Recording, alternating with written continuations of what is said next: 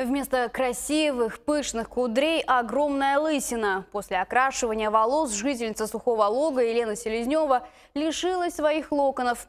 На публике пострадавшая теперь вынуждена носить повязку. Дома, каждый раз заглядывая в зеркало, вспоминать тот день, когда она посетила магазин, чтобы купить краску для волос. Девушка уверена, виной такому блестящему эффекту стал некомпетентный сотрудник, который продал неподходящие друг другу по составу краску и оксидант.